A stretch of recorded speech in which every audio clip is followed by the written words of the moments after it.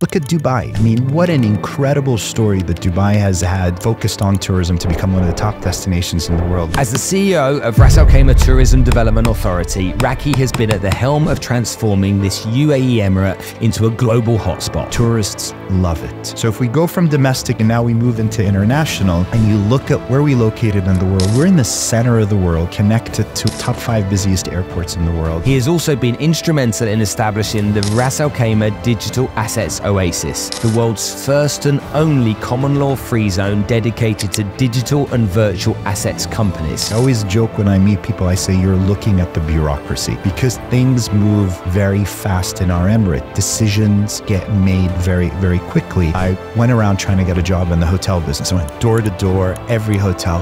No one would hire me.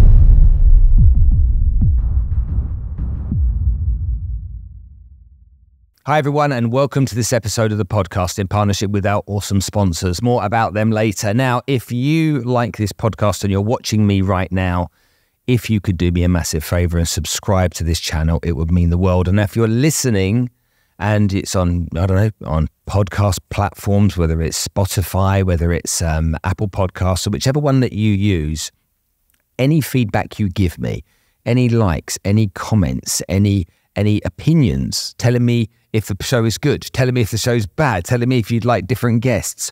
All of this is really valuable to me. We spend a lot of time, effort, and energy putting this show together so that you can have a good experience and you can listen to the stories of the incredible guests that we have.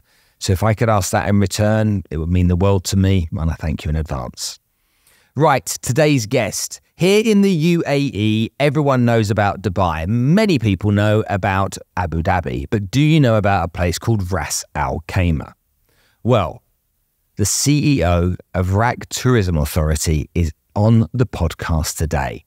Raki Phillips is joining us. As the CEO of Ras Al Khaimah Tourism Development Authority, Raki has been at the helm of transforming this UAE emirate into a global hotspot.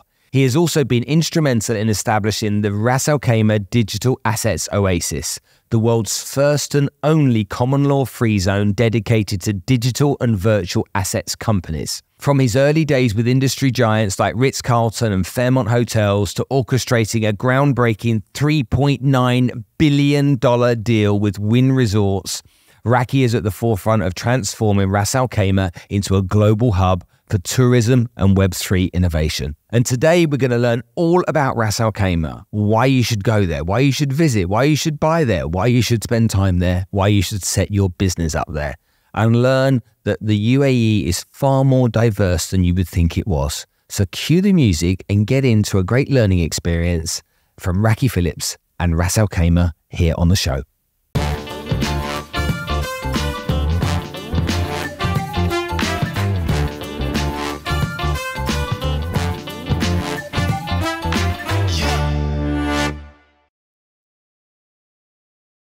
So let's talk about the Megavrse, the internet of people. Shaping the next iteration of the internet, Megavrse is powered by revolutionary blockchain technology built on decentralized community ownership. It offers users, brands, and businesses a seamless, regulated, and transparent opportunity for growth, revenue, and community building.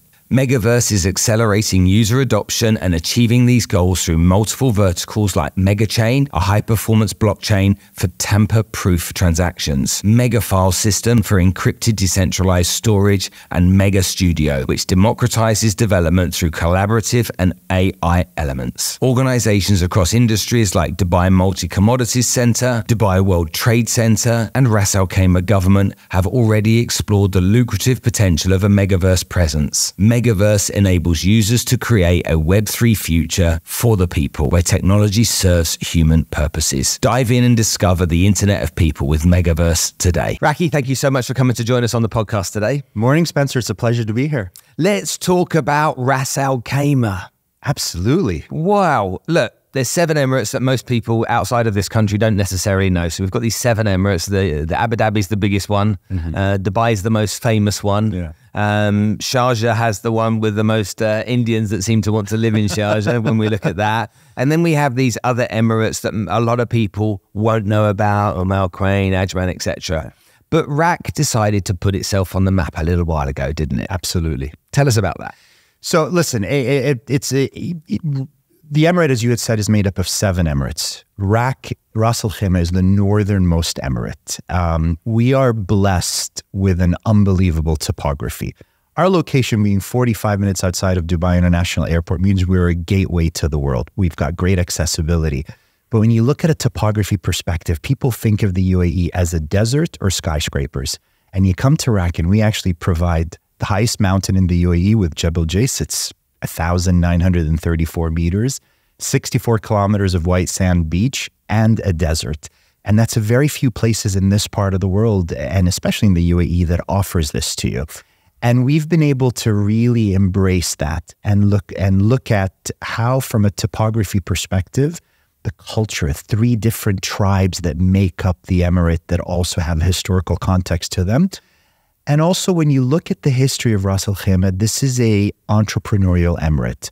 Rak Ceramics, the third largest ceramics manufacturer in the world. Julphar Pharmaceutical was the first um, generic drug manufacturing company um, in the region, one of, one of the largest. Um, Rak Rocks, I mean, Palm Island was built from the rocks from Jebel Jais.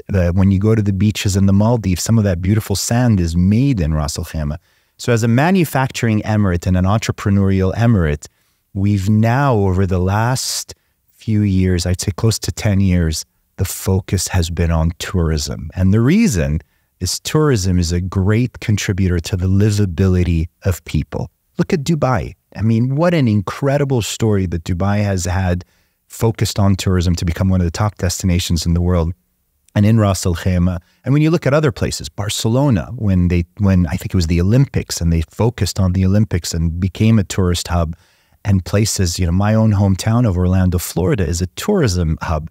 Um, those are places that contribute so positively to livability, and that's where we see the future of Ras Al Khaimah going. When we look at the emirate itself, some people haven't haven't heard much about it, and you're right. It's a very different emirate. To, I mean, I'm there every Saturday morning hiking, so so. Well, I appreciate. I, am a fan, but you know, a lot of people say to me, I didn't even know there were mountains in the UAE, let alone the kind of mountains that we talk about with Jebel Jais, etc. But I, I, still see Rak as a little bit of this hidden gem mm. Because even though you've got the topography, and we can talk about that, people don't really know yeah. much about it. Yeah. They don't really know if they should go on vacation there. What, why should they go on vacation there? What is there to do there? So maybe we can just give people some bit better understanding of that, so that so that they have context when we move to the next part of the conversation. Yeah, absolutely. So with Ras Al Khaimah, we are the number. Let's start domestically, right? We are the number one destination for uh, your staycations. So in the UAE, the majority of people will come if they think of a staycation, as we like to call it, a shortcation, because it is such a convenient drive. Rak is your number one option, and the reason people go there is one we're blessed with space. So if you pick any one of our hotels, you've got, I mean, one of our hotels has a 1.6 kilometer beachfront. Um, uh, it, it, you, you're blessed with space. It's a place where you go to relax. Sun and sand and beach and and uh, relaxation is really the key to what what the Emirate offers from a tourism perspective. That's one side of it. The other side of it is really the adventure side of it. There's no place that can offer you nature driven adventures. So you go to Jebel Jais, the highest mountain in the UAE, and you've got the longest zip line in the world, the Jebel Jais flight. Then you've got our toboggan uh, uh, ride, the Jais Sledder, that is just an, an incredible experience that you can do with the family or you can do yourself and you control the speed of it. And, and, and to have that toboggan experience on the mountain's great. And then we've got um, multiple other attractions there on the mountain and the hiking trails. I mean, the hiking trails, you know, you're, you're an avid hiker.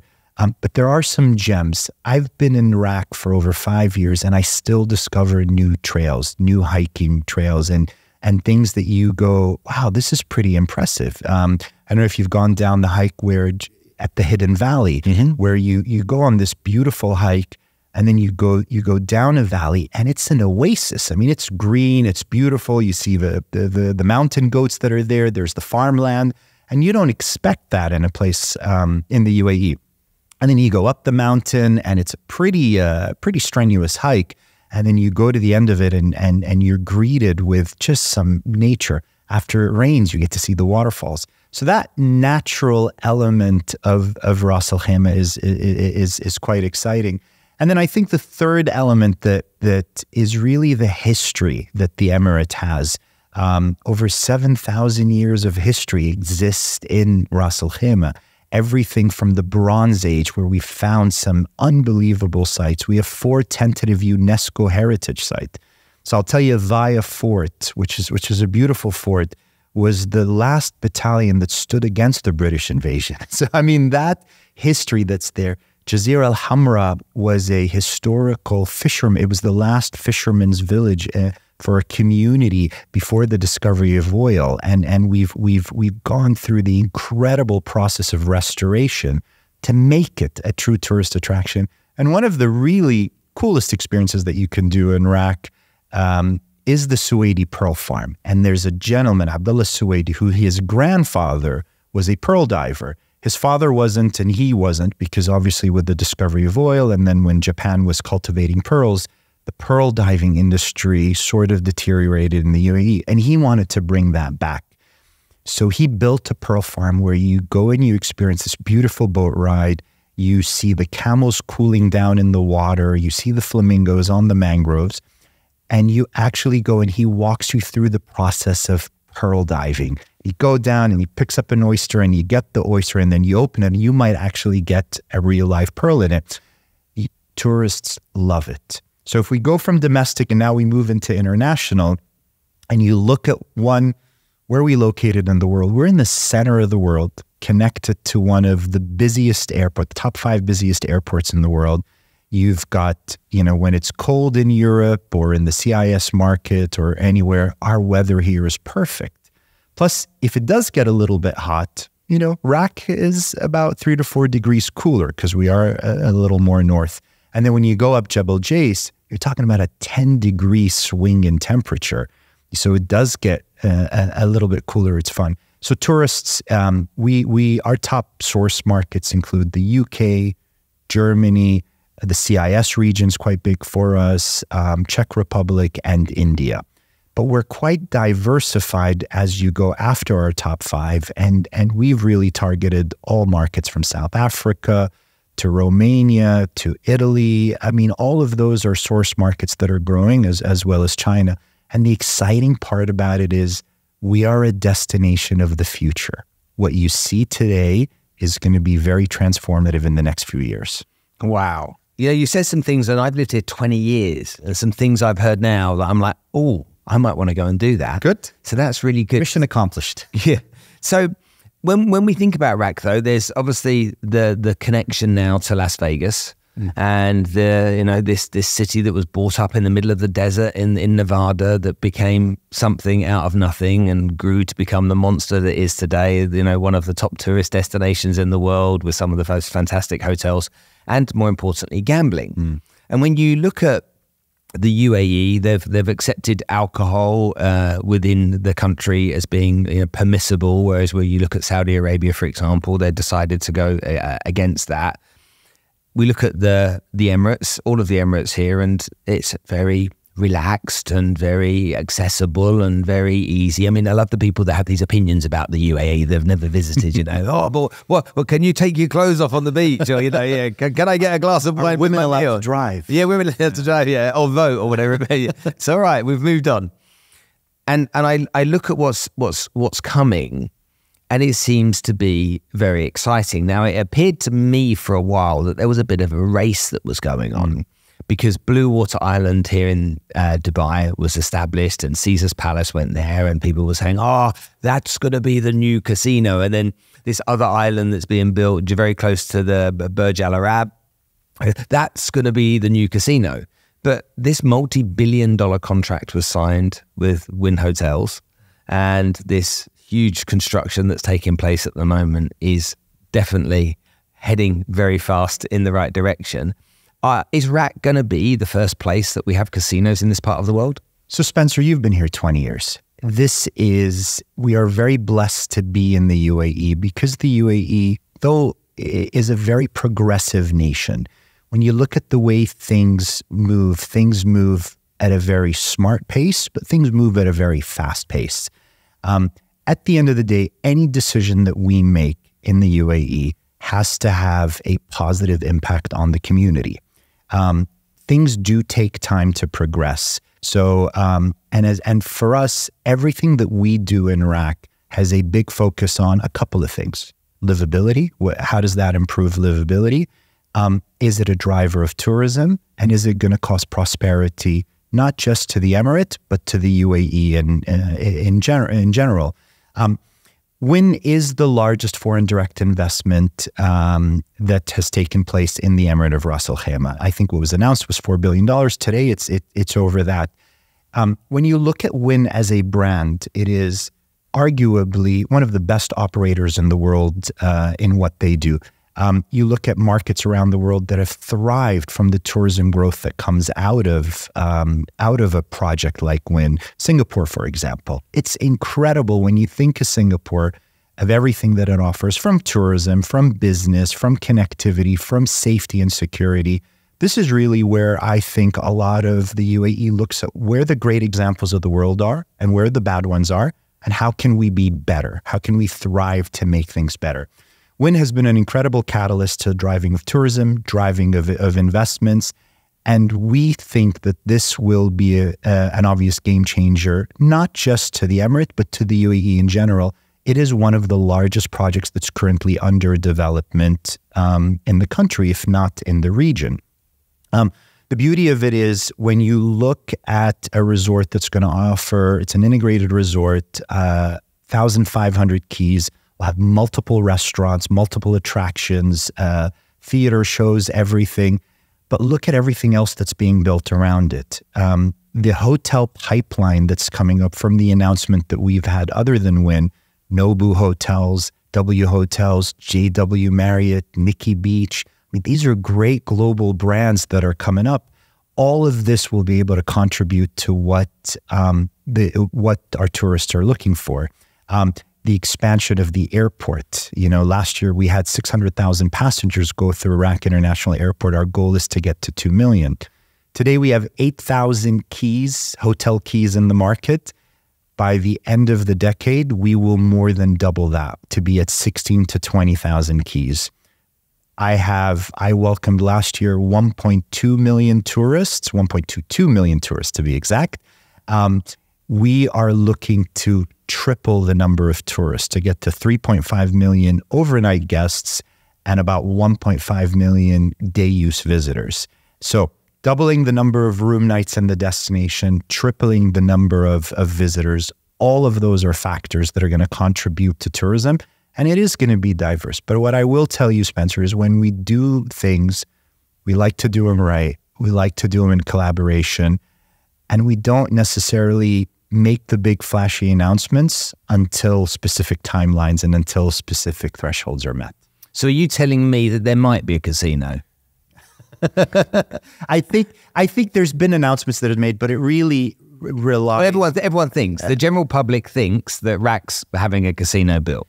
It, it, it, the Wynn Integrated Resort project, um, the gaming is going to be part of it. However, it makes up four percent of the space uh, of the built up area. So there's a significant amount of other attractions that are being built around that development, from restaurants to theaters to shows to everything that uh, uh, that, that will be built. But I'm more focused on the tourism element of it. I would leave that conversation for when there is a federal regulator that has been announced, the the, the GCGRA. So they would be able to give you more details on what's happening. But I will tell you that everything that we're doing is um, is very much aligned with our impressive tourism growth that we're excited about. Look, I think it's easy for me because I'm not a gambler, so I don't. Neither am I. So if I if I go to Las Vegas, I'm going there for the attractions. I'm not going there for any slot machines and, and stuff I, like that. And I think I mentioned to you that in Vegas, uh, sixty uh, percent of the people that go there um, uh, don't gamble. So really, it, it's it, it's everything else that uh, the attractions that come with a city like Las Vegas uh, or Macau or um, Singapore or anything or anything of the sorts. Mm, okay, understood. Now, talk to me a little bit about you. Yeah. Okay. You've got this fancy title, you know, the CEO of RAK TDA. And so people that would receive your business card and wouldn't have got to know you a little bit like I have might go, this guy's super important dude here. You know, let's uh, let, us treat him as very kind of you. You know, you know it's like. if people see the business, oh, you know, how do I approach this guy? What what kind of guy are you to be a CEO? Is it, are you a you know, a typical MBA student that's gone through this, this this corporate ladder to become one, or are you somebody who is just focused on doing a really good job or what you did and opportunities came your way? Um, so I'm I'm a big believer in in in hard work does pay off. Um, I'm also a big believer in patience. Sometimes I think that's my best quality, but a lot of times I think it's my worst quality because I am super patient uh, when when it comes to things. But I told you a little bit about my background. I mean, I um, uh, um, I remember uh, when I, when I started started college. Um, I went into college at 17 years old, and I was having a blast. Typical lifestyle where you're going out, you're young, you're enjoying it's your first uh, bout of freedom.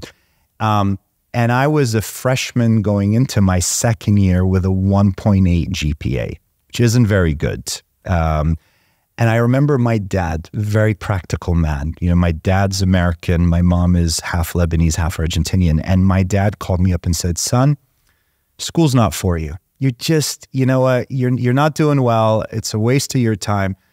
You got to find a trade. You got to be a mechanic or something along those lines. I said, all right, you know, so so I, I'll never forget. I have a friend of mine who today is a is a very successful pediatrician, um, and I bumped and she's like, she's like, Raki, you look down. What's wrong with you? I said, my dad thinks I'm a loser and he wants me to go be a mechanic. And she goes, and I have one week to tell my dad what I want to do for the rest of my life. Because my dad was like, I give you a week, make up your mind, figure it out. And she looked at me and said, You need to be in the hotel business. And whereas I was maybe 17 years old, 18 years old at the time. And I said, Really? She Yeah, you know, my brother's studying it. You've got the personality for it. I think you should be in the hotel business. That's what you tell your dad. So my dad called me up and said, Raki, did you decide what you want to do with your? I said, Yeah, dad, I want to be in the hotel business. So he says, Great. I give you two options Orlando or Vegas. Because if you're going to be in this industry, you got to be in the best place in the world for it. So I flipped a coin and it landed in Orlando and I moved there moved to Orlando. My dad, very practical guy, said, I'm going to pay your rent for three months. Uh, I will pay your education as long as you get good grades. And then you got to figure out the rest by yourself. So I went there, got into a school, got my rent, and then I went around trying to get a job in the hotel business. I went door to door, every hotel. No one would hire me. Really? So I, no one would hire me. I don't have the experience. And so I called my dad. I said, Dad, no one's giving me a job. He goes, yeah, you've got a goatee and a ponytail. you know, why don't you shave and get a and get a haircut? So so I shaved in that, and my first my first job was I was a sandwich artist at Subway. So that's where I got into the industry. You know, and I do consider F and B being a big part of hospitality yeah, yeah. and tourism. So I got a job at Subway and Hold on. What was a sandwich artist? That's a fancy. That's a fancy name for a guy who makes sandwiches. Really, I love it. As I saw, there was a guy once I spoke to. He Is said, it not on my CV? Did you he said, he said he was a vision technician, and I'm like, "What's that?" He said, "I'm a window cleaner." there you go. You know, regardless of what the job is, you you you you can make it. You can make it really good. And so, uh, so yeah, started as a sandwich artist in Subway. It was great. You know, really enjoyed it. I, you know, I, I, I realized I'm I'm a guy who enjoys work and and can put a lot of fun into in, into the job I do. Then I started getting into, and I was like, I really want to get into hotels. So I remember my first job.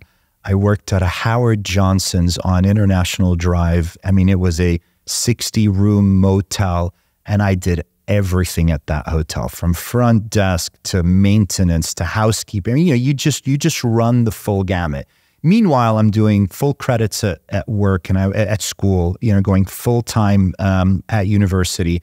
Got into a, a hospital a hotel program, a hospitality program in school, and was really working 40 hours a week and going, you know, full credits at, at school. But I started doing odd jobs. I did everything from I was an airport shuttle driver for a Sheraton, I was front desk, I was concierge, I was doing everything. Um, and then I saw an internship program at uh, um, at my university for Universal Studios. And when you're from Orlando and you're in the industry, there's two big employers. It's either Disney or Universal. So, so that's the dream is is to work for them. So I signed up for this internship, which was an apprenticeship, and and you go in. They take 20 students, and out of 20, two get a full time job, a, a management job or a supervisory job. And I went into this program and I just worked and and networked and and there were I would work weekends, mornings, nights, you you you name it. I, I would jump in, and I was one of the guys that ended up um, chosen as one of the two that got the job. And I was a supervisor at a place called Destination Universe. I was a vacation planner. So when you and your family would come to Orlando, I'd be the guy in the lobby that would greet you and tell you about everything to do for Universal in Orlando, sell you theme park tickets, you know, do that. I just sort of worked my way up and and and had an incredible seven year career with uh, with with Universal Studios. Did everything from uh, park sweeping, you know, uh, uh, uh working at Cinnabon, um, to opening hotels, to sales. You know, I think uh, at the end, I think I was um, I was a manager of a, of a of a division that was generating ninety million dollars a year. So I mean, I was I was moving up pretty pretty fast at Universal. And one of the greatest lessons I learned during my time at Universal is I was a small meetings manager uh, for for for the hotels at Universal. And and when you get into your career and and you do small meetings, you get bumped by all the big meeting guys. So you try to you're the guy that fills in the gaps in the meeting rooms um, with business. And I did something funny, or or I um, or, or I, I put something in when I wasn't supposed to, and I got called into my VP's office. And you know, I must have been 22, 23 years old, and I still remember her name, Susan Barnes, and she looked at me and said, "What you did was wrong, and I have to." tell you um, this is going to leave an impression on me. And 10 years from now, when someone calls and asks about you, is this going to be your defining moment? Or are you going to do things that are going to um, change your reputation? Because she said the only thing you have in your career is your reputation. Mm-hmm. Spencer, that resonated so much with me that I said, I need to always make sure that regardless of what I do, whether you help people, whether you negotiate a good deal, a bad deal, whether you agree, whether you disagree, you do it respectfully and you make sure you maintain your your your reputation and your ethics and, and what's important to you. And that resonated with me till till today. And I'm proud to say that I think when you talk to people in the industry or someone that I've worked with or someone that I worked for or my colleagues or team or peers, I try to hope that I can have a positive impact on them and, and maintain that reputation. It's it's this you know, social media has this place in the world where people are building a personal brand, but to me, a personal brand is your reputation. Thousand percent. You know, that, that, that, that's it. Yeah. You know, and, you know, people, people, if you're honest and you make mistakes along the way, people accept that. Yeah. You know, if you hide it, they don't. Yeah. And so uh, that resonates with me too. How, can I ask how old you are? I'm 45. Okay. So you're yeah. much younger than me. Yeah. When we when we look at your career, you look a lot younger though. I'll tell you that. I'm not so sure about that. When we look at when we look at your career here in the UAE, yeah. When I when I first came here, I lived in many different countries, and you know, the opportunity to come and live here in 2000, end of 2004, beginning of 2005, it was uh, a place that was still to many in many respects an oil town. Yeah. Okay. It was a place that you know, they built this big hotel, this fancy hotel, mm. but not not many people kind of knew about it or understood it. I remember my parents saying, "Oh, we went on vacation there last year." And they didn't come to Dubai. They actually stayed in Jebel Ali, the Jebel Ali resort. and my mum was, I couldn't believe how far it was to the gold souk. Yeah. and I'm like, Did you go to Dubai? She said, Well, we were definitely in Dubai. And I'm like, mm, Maybe you weren't. And I and I and I look at how it was then, and I loved it back then. Yeah. And I came into this town. You know, I lived in the Greens, and uh, there was three months there. Then I moved to Um Sakim, and it was kind of like you know I used to go for a run in Safa Park, and kind of everyone knew everyone. Safa Park was great. Was I have to admit. I mean, when I first moved here, it, Safa Park was was the place you'd go for boot camp and everything. So I can yeah. resonate with you. Yeah. Well, I, I couldn't. I never used to be able to run, and so Safa Park. Once I was able to run all the way around Safa Park. I even know it's four point three kilometers. but it was it was this place that I loved. Anyway, this this kind of like this monster of a city. Yeah. And and and this country has grown, and whether it's Abu Dhabi and Saadiyat and Yas and everything else going down there, whether it's right, whether it's here, there's just been this this this massive amount of growth, which some people don't like. Yeah. Okay. And some people do. comparing to when you first got here, and let's remove the CEO of Yeah. Rakti Tour- Tourism and, and, and the kind of like the, the hospitality guy in you. Yeah. As a human being living here, how it's changed over the years, how has that impacted you and how do you think about the changes? I love it because so so if you look at my um, uh, strength finders, you know, if it, you know, I mean, you can do the strength finders things, and you look at your top five qualities. My number one quality is futuristic. I am all about what's next. I'm all about the future. I'm all about places that are progressing.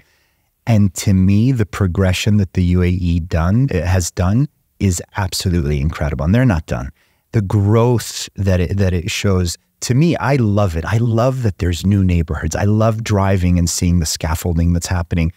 But I love seeing that in Ras Al Khaimah as well, because as I said, it is a destination of the future. So I can see that we've got a white canvas right now. But what are we doing to get to where we need to?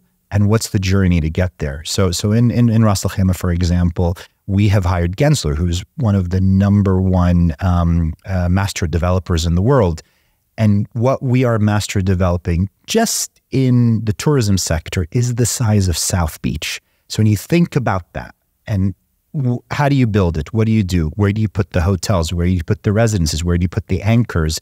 Where do you put the attractions? All of those are going to have a pretty unique impact um, uh, uh, in in the future of of the Emirates. So when I look at the UAE and I look at the progression, and I look at other parts of the world that haven't progressed as fast, um, this excites me a lot. One from a tourism perspective, it's it's an incredible story, but also from how the community has progressed. Um, you know, we were talking about uh, earlier about you know you're allowed to take your you know to to be in a bathing suit on the beach. I was at a conference recently, and and uh, um, a lady I was sitting next to asked me, you know, I she said I lived in the UAE for three months and I hated it and I left. And I said, what did you hate about it? And she said, um, I just didn't like the way they treated women. And I, I said, really? I, what was your experience? Ah, you know, they're very conservative and, you know, for whatever. And then I, I went into the, the speech to say, um, I don't think you realize how progressive the UAE is as a Muslim country. And her concern was women wearing headscarves. So I said, um, have you ever thought about the men wearing uh, head, um, you know, uh, uh, wearing the gutra? You know, I mean, have you ever thought that that might, it's not a sign of oppression, it's a culture, it's a sign of choice. It's, it could be religion, it could be multiple, multiple factors that, the, that play.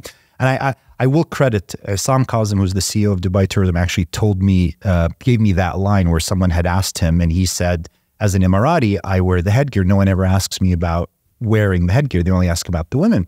Um, and I used that line, um, uh, so I credit him for it. But I also said, um, nuns wear heads, scarves. Um, uh, Jewish women of faith shave their heads and and and wear um, wigs. Wigs. I said, I said all of that, and I said, do you realize that in the UAE by law, fifty percent of the ministerial roles are women?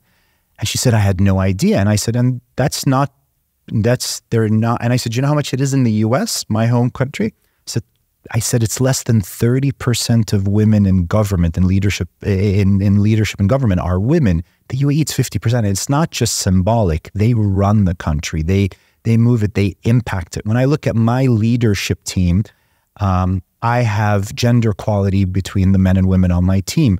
I look at the progression of women on my team. I look at how um, things are growing. So when we talk about progress, I don't look at it just from the real estate boom, the attractions, the things.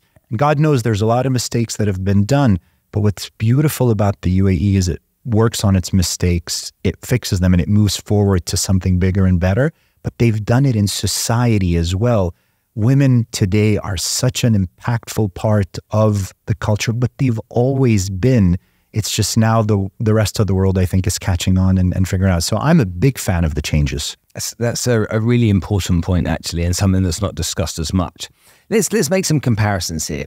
You, you when when I look at I don't know long distance runners, years ago I used to watch the Olympics, and we've got that coming up now. And we had three famous runners. We had S- Sebastian Coe and Steve Ovett. We also have the RAK Half Marathon. I just want to throw that plug in there. And when and when, when I used to watch it, I used to I always watched the guy that was sitting not not in the lead, but he was on the back. He was looking over the shoulder of the guy, or if he was he was two back, so he could see who was in front of him, and he would be the guy that would kick in the last two hundred meters. And the guys in front were having to look back to see where he was coming from, but the guy behind knew where he was going, and generally he could accelerate and take on and win. And that tended to happen over and over again for the gold medal. I I look at that and, and that's symbolic to me in the way that it's like it's the underdog, okay, or not the favorite, okay, that sat there waiting, waiting, waiting. When we look at Dubai and we compare it with Abu Dhabi, we will say that Abu Dhabi is trying to play catch up mm. to get to that point and it's doing a very good job of it. But it's almost like there's this little outlier up in the north that that people maybe not watching as closely as they should. And I wonder if that psychologically for you is is a great motivator for you to kind of like really say, well, you watch us, you, you just watch. Absolutely. I will tell you, even when you when you look at my career, I didn't work for Disney. I worked for Universal Studios. You know, uh-huh. you work for the, you know, working for the second biggest company in, in, in Orlando gives you more flexibility. You're not the big black stretch limo. You're the little sports car that can bend, um, uh, that can go on the on the turns faster and, and, and tighter. When I when I got into hotels, I worked for Ritz Carlton, not Four Seasons, and you know I worked. Tell me what the significance of that is. And it, it's it's it, when you when you look at brands, sometimes you say, you know, the the, the number one. Eh, you know, and I'm talking years ago, right? Disney was a bigger company than Universal Studios from a theme park perspective. They had four theme parks. Universal Studios had one. Today, you know, 20 years later, Universal Studios in Orlando is really far more creative and doing things that are that are pretty impressive. I mean, Disney's a fantastic company, but when you come from behind, it allows you to be able to do things different. It allows you to take bigger risks. You have a little less bureaucracy. You can make things better. And throughout my career, I've always been um, in that position and I love it. So I absolutely relish in it. Ras Al gives us the opportunity where we don't have um, uh, we don't have all of the resources that maybe our competitors do, or or I shouldn't say maybe our competitors, but but you know, uh, I mean, look at Saudi, the boom that they're going through tourism. It's incredible. It's something that makes you proud. What Doha has done, also with the World Cup, what Abu Dhabi is doing, and and the rest. It's something proud. But we might not have the resources that they have, but we've got the drive, we've got the ambition, and we're a lot more nimble. We don't have the bureaucracy. I always joke when I meet people. I say you're looking at the bureaucracy because things move very fast in our emirate. Decisions get made very, very quickly. Um, and I think that's really sentiment to the leadership that we have. I mean, I mean, His Highness Sheikh Saud uh, bin Saqr Al Qasimi is such an open-minded, progressive leader that drives us to say, "You have to achieve this. You have to do this." Follows up with us when we do it, and and that resonates throughout the entire leadership of the Emirates. Um, uh, and that's what's great because we're still a small community. So if we need something to happen, I can pick up the phone and call the, the CEO of, of RAK Transport. I can call municipality. I can call the head of that. And things can work very, very fast and, and we can move. And I love that. I always say this to the team. Five years ago, I think Al Khaimah might have been a little bit too small. And I think five years from now, we're going to be a little too big this right now is the sweet spot where we can have the biggest impact and make stuff happen. And absolutely. And I think to to to what I had earlier said, we're not we're not big and flashy. We don't like to show off. We wait until something happens and then we announce it. Um, and that's really that works quite well for us and, and we're happy being in that lane. Not just tourism, though. Ras Al Khaimah is really pushing heavily on being a, a, a, business location as well. It's trying to get many people to come in and establish their businesses there. The discussions around golden visas, uh, taking into consideration digital assets as well now, the crypto world. Yeah. You know, I was up, I, I was, I was literally six months ago, I was like, you got to be at this conference on this day. And I'm like, no problem at all. And I didn't even think it was in RAK. I thought it was in Dubai. And so I got in the car ready to go. And I'm like, where is it? I put it into my Google Maps and it was like, I'm like, wow, we're going to, we're going to a, crypto conference yeah. in RAK. Yeah. And so clearly, and obviously, uh, um, uh, RAK Free Zone as well has done. I mean, I don't know what the numbers are, but a colossal number of companies have yeah. been established up there uh, over the course of the last few years as well. So it seems to be this kind of like this this all out approach, this assault okay, on you know building the name of this location, building this emirate in terms of uh, its publicity and its media positioning to let everyone know there's so much that you can do here. Yeah. And that's for me really exciting because 20 years ago when I was going up to, up to RAK, you know, it, there was there was nothing there. You know, there literally was nothing. And to see that's all changed has been great. I remember the first time I rode a bike up Jebel Jais some people said we're going to go and ride up a mountain, and I was like, okay, fine, that'll be fun. And I was the guy that rides around on the flat in Dubai, and then I hit the bottom of that, that hill, and that's a steep hill. Man, that was uh, 20 kilometers long. That was uh, that was definitely an experience for me. My first hill in the UAE, wow. and um, and then the speed coming down. But I, I look at people that make a decision in their career, like you, to go to places like that, and say, you know what, you know, I'm I'm I'm in the. It's the what's the what's the word I'm looking for? Is that is that person that's that's willing to take a chance on something that could be really good is inevitably the person that if it does turn out good that does very well from it absolutely i mean for me i do say i'm a bit of a risk taker and, and as a ceo my job is assessing risk i get presented with tons of opportunities every day, tons of decisions that need to make. And, and my job is to quickly say, assess this risk. How how risky is this? If it's a low risk item, let's move on and move things. If it's a if it's riskier, let's let's analyze it. Um, it, it, but the beauty of RAK is the excitement of why I have loved and enjoyed my career. And the reason why I joined was because it was a white canvas, was because you can see things growing, you can see things moving. Um, it, we are a group of CEOs that actually get along and work quite well together. So you had mentioned RAK, as you had mentioned uh, RAK Digital Asset Oasis, RAK RAKDAO. The two CEOs that run those companies are people that I can rely on. I can pick up the phone, we can call, we can have a conversation, mm. we can bounce ideas off of. Yes, we're all in our lanes of expertise, but we contribute to the greater benefit of the emirate and there and there's something about that that's so extremely rewarding when you're all working as as as a group together it's the same thing with the team at Marjan that has gone through a tremendous transformation um, uh, from from a real estate development but we all work well together because if I'm doing my job in tourism um, and someone else isn't that has a negative impact on me and vice versa so for us um, that is the exciting part about RAK. Uh, uh, um, is one, we are providing a better lifestyle for the people of RAK. So today we have a population of 400 400,000 people, 450,000 people. That's going to grow to about 650,000 people. But what what comes with it is the education, better schools. What comes with it is better hospitals. What comes with it is better accommodation, malls, attractions, restaurants. Um, but also, if you want to register your company, so if you, I, I, don't know who your business is registered with, but if you'd like to switch to RAK, I would be happy to be able to support you. And you'd see what a seamless, easy um, opportunity is. The launch of the RAK Digital Asset Oasis last year, RAK DAO, was such a great initiative that was taken because, yes, we can compete in multiple things when it comes to offshore jurisdictions, but let's find a niche that makes us really, really good. And I think that falls with everything that we do that allows us to move much faster. Tell me about your boss.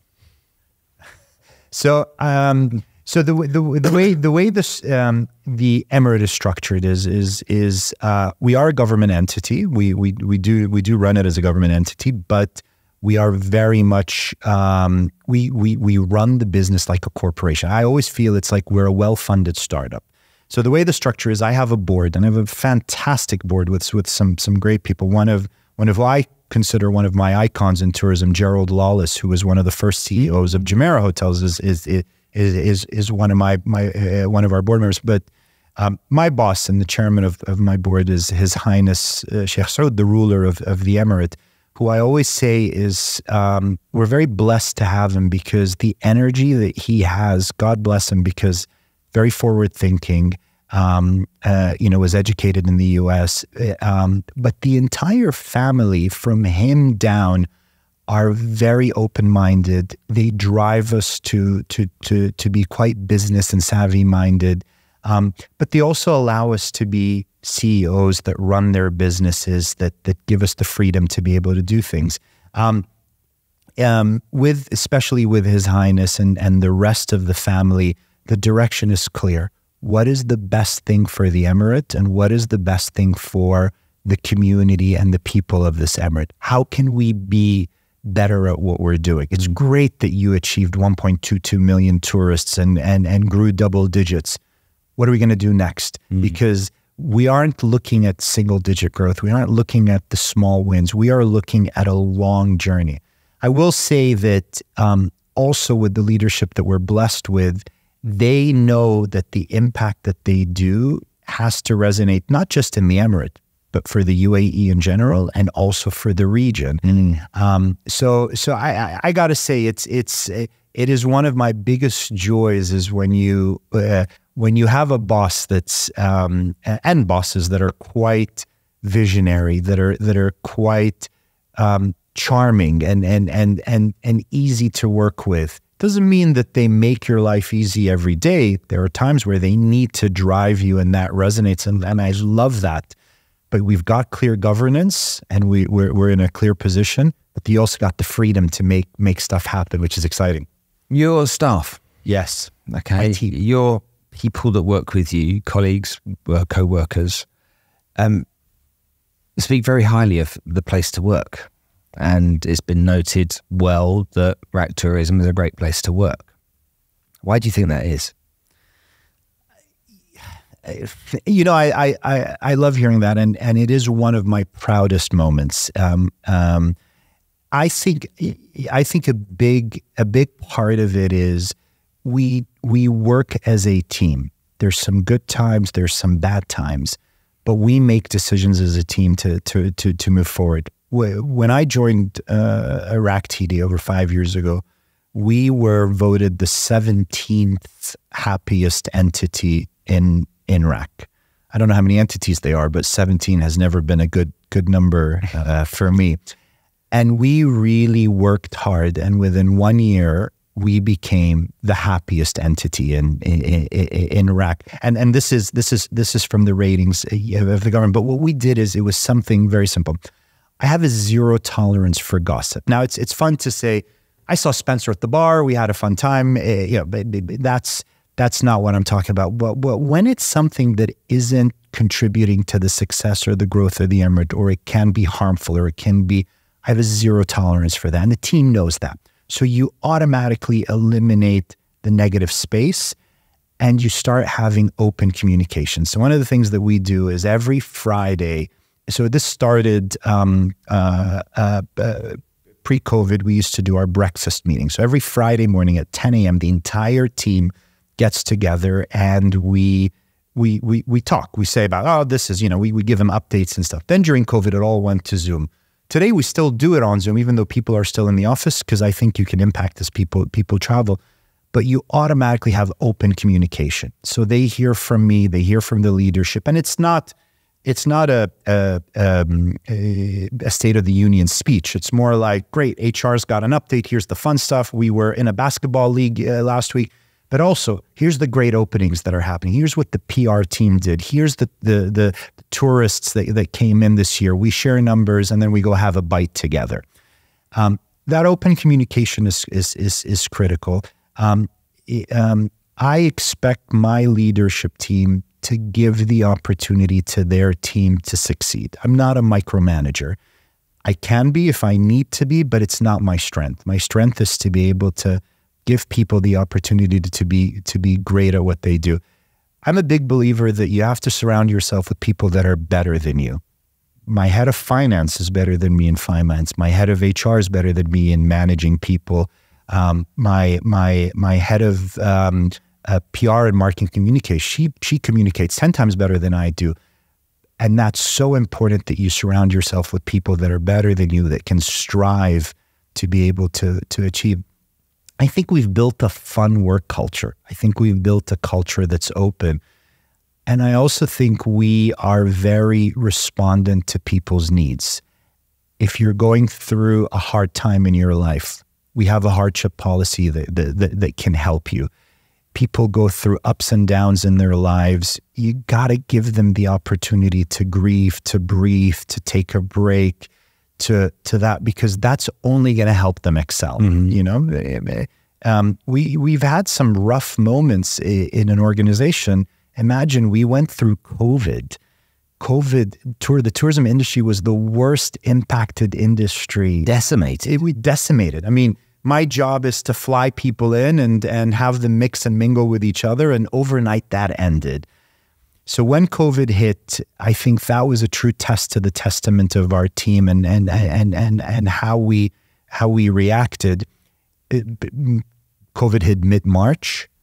April 1st, this wasn't an April Fool's joke, but April 1st, we launched a, a program that supported all of our hotels and tourism. So anyone that gets a license from RAK TDA, we had an incentive scheme for them to keep the lights on. So we went to all of the hotels and said, we're waiving fees. We spoke to to FEWA, you know, the, the mm-hmm. department. We spoke to all the banks. If you've got loans, we'll be able to to do that. But we took that initiative and then we said, no fees, keep that. And then when we started collecting taxes, we let them when when tourism opened and they were able to welcome guests, we let them keep a portion of those taxes so that they can put it back into their employees and do that. And I think during the hard times, if you shine to to to uh, you, you come above water as a community, I, I think it helps. And and that just sort of that just sort of sort of led. And then the, I think the final thing I will say is is learn how to laugh with your team. And and that is important. Not laugh at your team, you know, but laugh with your team to enjoy the good moments because when they're at that dinner table and God knows that everyone talks about people at work at their dinner table, whether it was a good day or a bad day, you want that conversation to be meaningful and positive. Uh, and if you laugh with people when they're having a good time and you celebrate their successes and you give them a hug or you cry with them when they're going through a hard time because you genuinely care about it, that builds that environment around. And happy to say we've got that. We know about your business and why people are happy because one of the companies that we own is called Happy Work. Ah. And our business is all about understanding how corporate culture works, corporate wellness works, and how companies have been good at retaining staff and developing their business with the right kind of people. We also know the ones that have been very weak at it as well by comparison. And and so when we look at examples of businesses that are run effectively, it always comes down to what's the leadership like? What's their relationship like with the people? Are the people feeling like they're empowered? And and do the people like going to work every day? Mm. And the most, the vast majority of your employees, overwhelmingly, like going to work, and that says a lot for lots of things. But more than anything, it says a lot about you and the kind of person you are. And I'm sure it's very easy for someone like you just to play that down and say, "Oh, it's not me. It's you know, it's my team. It's everything else." But at the end of the day, if the shit hits the fan, the buck stops with you. So take the take take the praise when it comes your way, and and take the recognition that you deserve because you've been identified in this country as someone who's doing it really well. Well, th- thank you. I, I really appreciate that. I, I, it's, uh, um, uh, I would say it's probably my happiest moment is is is when I know the team is doing well and and and they're and they're shining. So so I, I love it. I enjoy it. it. It fits in every aspect of my personal life as well because you spend so much time at work. If you're not happy and enjoying and succeeding and and driving what's the point if you're going to go to work and I get it. Uh, and, and I sit with a lot of people over this desk, and I interview a lot of people that are in some in very powerful positions around the world doing very important jobs. You have oodles and oodles of likability. thank you and and and I can I, I can just in our own interaction here today, and that likability, I'm sure, is what a lot of people can see as well. So yeah, yeah, thank you i, I appreciate that i i, I just it, maybe it's because i started my career in theme parks so you know how to ride jump on a roller coaster and, and have a good time and scream and, and enjoy but i do appreciate that and i'm, I'm humbled by it and and uh, and and thank you very much you're very welcome. Okay, lastly, before we finish, let's let's roll out the next five years of RAK. Okay, there's there's some ambitious plans. There's some hopes and dreams that are gonna are gonna definitely be fulfilled. If I'm if I'm someone that's never been to RAK before, okay, and I'm thinking, you know, I, I, I want to move to the Middle East. I want to take advantage of this environment. Dubai's really really expensive. Abu Dhabi seems like a little bit spread out. What what's what's your case? Give me three reasons why I should I should go and choose to make RAK my base in the UAE as opposed to as opposed to anywhere else. So so um, I'll give you a couple of reasons. One is um, when you look to to be based in in a place, what do you look for? You look for livability. So you want to make sure that the quality of life you're getting is a quality that matches your needs, matches your family needs, matches you know what's what's required. And I think um, it, nature has always been a driver of people's happiness and, and and and prosperity. And the fact that you've got that mountain around the corner, the fact that you can walk on the beach and enjoy, the fact that you've got these nature outdoor activities, that plays a very, very important. So we are blessed with topography. So come to come to Ras Al Khaimah because of the topography that can help really elevate your your chakra points and and and, and make it break. Come to Ra- Ras Al Khaimah because it is an opportunity of growth. When you look, there's very the, the, the world is changing very fast, and there's very few places where you can see um, unbelievable growth like the UAE, and especially in Ras Al Khaimah. And that growth could be personal growth, could be career growth, could be investment growth, and people that invested in Ras Al Khaimah a couple of years ago have just seen tremendous, tremendous gains. And then the third part is because we're a pretty, we're, we're, we're, nice people in Ras Al. And, and, and, and, and that quickly before, before we get the comments. Yeah. So and, and let me let me tell you, because we're a small community, the community supports each other and moves. It, it, you know, it, uh, I'll tell you, you know, I, I, I I enjoy listening to your podcast, and and and I, I'll tell you um, uh, Khalid Al Ameri, who was who was uh, one of one of the comedians that you had on your podcast recently. Um, uh, I expected a very different interview, and I I found um, uh, coming out of that interview, he was someone that was very warm and engaging, and and and had a really different story than maybe just the the the, the you know the sixty second uh, skits that you see on on social media. But one of the things that he talked about was inclusivity and how the UAE takes care of. Um, I, I, believe he has a son with autism, and and and how the UAE more than anywhere else takes care of people in the spectrum. Um, and for us as an emirate, whether it's people that during COVID got sick and we would host them in our hospitals, whether people were scared uh, and we wanted to ensure that we we do it, or wh- whether it was even taking care of your pets as a as being a pet friendly destination, we do that. And one of the initiatives that I'm very very proud of is we are focused on accessibility because we want to be welcoming to all guests that and anyone that that wants to. So, so when you talk about the disability ca- categories, you've got allergies, mobility, vision, hearing, cognitive those are elements that impact people. And for us, how can we make that better? So if you are if you are an autistic kid that gets impacted by sound, why do you need to check in through a main busy lobby? Why can't we have a separate lobby area that that greets you and welcomes you mm. and takes you to your mm. room to to do that? Those are things that we're putting in place. And because we're small enough and because we care about livability, we care about prosperity and growth, and we're nice people, these are the things, the initiatives that we can put forward that I think will be game changers, not just from a tourism perspective, but from a adaptability and livability perspective. That's really interesting. So it's thinking about how everyone can fit in, everyone can belong, everyone can feel like that they're they're they're not seen as outcast in any way. That's really important, and I think that that that's that's something that you know me growing up. It it that that wasn't even a on, on, on the table. It wasn't even a discussion. And the fact that you're you're doing that kind and, of stuff. And I think Spencer, when you think about it, I hope we all live long, healthy, and happy lives. But at some point in your life, you might break a foot and need to be in a wheelchair. You might have a uh, some form of ailment that impacts travel, that impacts the way you live. That you need a ramp, you need that. Let's think about that ahead of time and make Ras Al and make this destination inclusive for people at any part of their at any part of their journey.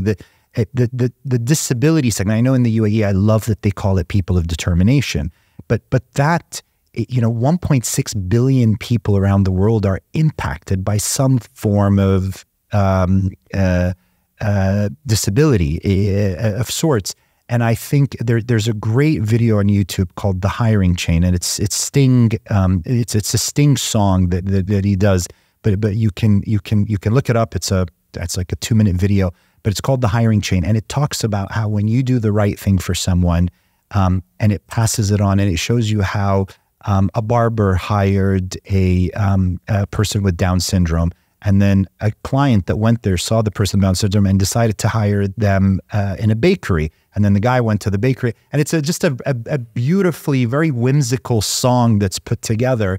And that's very much what we like to do in Ras Al is care about the people, care about the community, and push things forward. Awesome, awesome. Raki, thank you so much for coming to join us on today. Thanks, Spencer. It was a pleasure, and I really, really enjoyed this. Cool.